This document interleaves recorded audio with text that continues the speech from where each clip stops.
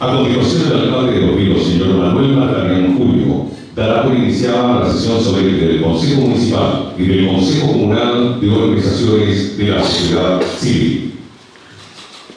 Muy buenos días, señores concejales, consejeros comunales, invitados y comunidad. En nombre de Dios y la patria se abre la vigésima novena sesión extraordinaria del Consejo Municipal y la décima cuarta sesión ordinaria del Consejo Comunal de Organizaciones de la Sociedad Civil para tratar el último punto de la RAB, Cuenta Pública 2015. El alcalde Manuel Marcarián encabezó la cuenta pública 2015 de la Municipalidad de Los Vilos, acto que resume la gestión y los desafíos del municipio. Acompañado de los concejales de la comuna y de su gabinete, el edil se refirió a los avances de la comuna y presentó a los vecinos que participaron en el acto los principales aspectos de la gestión municipal 2015 en las distintas áreas de desarrollo comunal, destacando tanto los proyectos finalizados como aquellos que obtuvieron financiamiento y aquellos presentados a las distintas plataformas. Él se mostró satisfecho por el trabajo realizado durante el año pasado y agradeció el apoyo de todos los dirigentes de la comuna, tanto del sector urbano como del sector rural. Ese apoyo yo lo agradezco con la presencia de los dirigentes de toda nuestra comuna, del sector urbano, del sector rural. Ese apoyo es por el trabajo que hemos realizado con ellos. Esta cuenta pública participativa y esta oficial es resultado del apoyo que nos han dado los, los dirigente de toda nuestra comuna. Nosotros empezamos cuando llegamos a esta administración con cuentas públicas participativas para que la gente entendiera lo que significaba esto, las distintas finanzas, tanto municipales, educación como de salud, los, distintos ítems que muchas veces nos sentábamos a escuchar eh, como concejal y muchas veces era difícil de entender para la gente y los dirigentes. Ellos nos acompañaron desde un principio las cuentas públicas participativas y hoy cada vez hay más gente participando y hoy también esta cuenta pública es resultado de esa participación, del apoyo que hemos tenido. Hoy hemos concretado el 2015 eh, los grandes proyectos de inversión que estaban detenidos, los proyectos también que eran un problema para nosotros como los grandes proyectos de la Casa de la Cultura el edificio consistorial, con muchos problemas de diseño y con el apoyo del gobierno pudimos conseguir los recursos para terminarlo. Son casi 6 mil millones de pesos entre ambos proyectos. Eh, creo que es una cuenta pública sólida que demuestra cómo hemos madurado eh, como municipio, como autoridad. Eh, con los equipos que ya se han afianzado y la comunidad lo reconoce y lo decía hoy en las cuentas públicas participativas, la gran cantidad de proyectos, de proyectos que se están ejecutando, de diseños también que están y los proyectos que se están trabajando en conjunto con las distintas organizaciones. Acá no queremos dejar a nadie afuera y queremos eh, trabajar con todos los que quieran trabajar para hacer grande esta comuna y así lo hemos dicho y así lo seguiremos diciendo. Hoy tenemos grandes proyecciones, hoy eh, se están pronta a instalar eh, plantas desaladoras en nuestra comuna y hay un trabajo de la comunidad que quiere también participar en las mitigaciones que van a entregar estas empresas y así poder crecer también como comunidad, entregar esos recursos que nos han sido entregados por, por la empresa, en este caso la minera, y poder hacer desde la, desde la base de nuestra comunidad los requerimientos de los proyectos que queremos que estas empresas entreguen. Estamos también luchando eh, para que no nos toquen nuestro valle de Quilimarí, un valle que no ha sido tocado por las empresas mineras y por, empresas contaminantes. Por eso hacíamos hincapié en el discurso al decir no a Sopraval, que es un proyecto que está hace muchos años en los maquis, que hoy se quería reactivar y estamos poniendo todo nuestro empeño para poder parar a estas empresas y que no nos dañen nuestro valle de Quilimarí. Y a seguir trabajando, yo como presidente, además de la Asociación de Municipios Rurales, también utilizar el apoyo de todos los municipios de la región eh, para poder hacer crecer nuestro sector rural, para poder proteger nuestro sector rural y para crecer en igualdad con las demás comunas de la región. Yo creo que esta cuenta pública es fiel reflejo de nuestra visión de sociedad, de nuestra visión de lo que queremos de comuna y la gente lo ha atendido y lo ha aplaudido así. Yo le agradezco a cada una de las personas que hicieron posible esta cuenta pública, a los funcionarios municipales, a los técnicos y profesionales que trabajan día a día en la municipalidad y por supuesto a la gente que nos apoya en estas proyecciones. Yo acá hay un sinnúmero de personas que han trabajado permanentemente con nosotros, vecinos anónimos, amigos, eh, dirigentes de todos los sectores y gracias a ello hoy tenemos este, este, municipio consolidado. Hoy damos la cuenta pública del año pasado, del 2015. Si esta cuenta pública es sólida, es fuerte, imagínense lo que se nos viene para este año 2016. Estamos llenos de ilusiones, llenos de proyectos y sabemos que nuestra comuna seguirá creciendo. El diputado Daniel Núñez, presente en la actividad, dijo que ha sido muy grato escuchar la cuenta en este Consejo Comunal ampliado, donde el alcalde ha dado cuenta de las obras realizadas Sí, la verdad que ha sido muy grato escuchar la, cuenta que ha hecho en este Consejo Comunal ampliado, donde ha dado cuenta las obras realizadas, las expectativas también, el trabajo con la comunidad, especialmente sus aspectos participativos. Pero yo quiero tenerme a destacar lo que fue la invitación que creo que fue la principal que hizo el alcalde, que es la invitación de futuro para los vilos, el mensaje de eh, los vilos que queremos y donde a mí me pareció muy atractivo lo que él señala hacer de los vilos una comuna ecosustentable que sea efectivamente un polo de atracción en materias de turismo, en materias de calidad de vida. Y también el alcalde nos ha dicho que para hacer realidad eso eh, hay que terminar los proyectos emblemáticos que están acá en la comuna, pero también hay que tener y rechazar proyectos que tengan un impacto negativo medioambiental y también en la calidad de vida, como ocurre hoy día con esta propuesta de, instalarse una planta de en la localidad de Los Maquis, lo cual va a consumir el agua, va a tener impactos por la calidad de vida, por el medio ambiente, por los olores, y por lo tanto hacer de un proyecto de futuro los vilos como es la idea de una comuna ecosustentable implica que también estos proyectos que van a dañar el medio ambiente, que implican pérdida de calidad de vida, sean rechazados y, no se instalen acá en la comuna. Así que creo que fue una, una cuenta muy importante la que hizo el alcalde y, y bueno, muy contento de haber estado acá, de participar junto con la comunidad en todo este proceso que se está viviendo de cuenta de la gestión 2015 en la Municipalidad de Los Vilos. Los concejales de la comuna de Los Vilos, Cristian Gross y Jaime Herrera, también se refirieron a la cuenta pública. Interesante, sobre todo algunas eh, iniciativas de, inversión que se pudieron desarrollar durante el 2015, efectivamente algunos proyectos emblemáticos, como en el caso de, de las pavimentaciones, eh, en el ámbito de lo social, ¿cierto? que es un aspecto muy importante, pero a destacar, por ejemplo, la gestión de la creación de la Oficina de,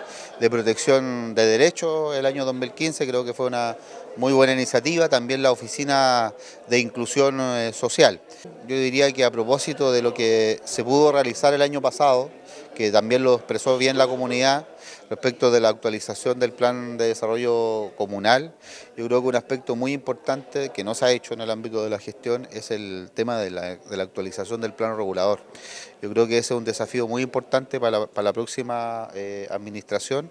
eh, porque en la medida digamos, que se pueda eh, desarrollar este instrumento, la verdad es que va a poder generar el desarrollo finalmente que todos esperamos a través de la creación de una zona industrial, etcétera. La, generación, digamos, de proyectos también de, infraestructura que yo creo que hay que insistir en el tema. Y finalmente, una cosa que también yo eché de menos en esta cuenta pública y que lo hemos manifestado como concejal, es el tema de los... Eh,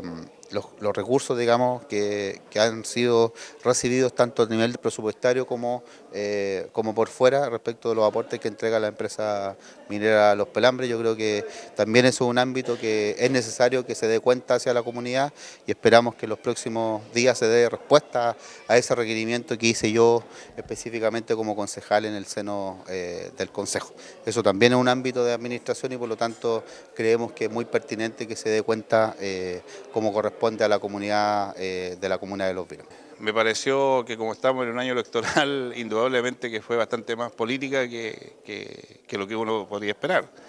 Eh, la verdad es que, eh, sobre todo las palabras iniciales y, finales del alcalde, eh, estimo que estuvieron muy orientadas, ¿no es cierto?, a, su deseo de ser, de ser reelecto en, las elecciones municipales de este año. Por lo tanto, me pareció una cuenta pública muy cargada a ese, tema político. Y también eh, yo creo que una de las cosas eh, irrelevantes, ¿no es cierto?, que, yo puedo mencionar en el sentido de que hoy día eh, por lo menos se ve que hay un, ordenamiento específico de algunos, de algunos estamentos municipales que lo habían estado funcionando bien durante los tres años anteriores y que hoy día se han ido consolidando, como él mismo lo, señaló. También es importante que haya reconocido los errores que se cometieron al inicio, eh, pero igual me parece que hay algunas cosas que debieron haber, estado. Por ejemplo, nuevamente no tuvimos conocimiento respecto de, los aportes externos que ha tenido el municipio para ejecutar algunas obras, específicamente de Minera Los Pelambres, no se informó, así como tampoco se nos informó eh, dentro de la petición que hicimos con el concejal Gross por escrito en el Consejo.